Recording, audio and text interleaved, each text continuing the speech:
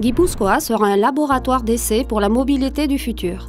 Nous préparerons la route pour créer un corridor intelligent avec des capteurs et des balises pour collecter des données et communiquer avec les véhicules.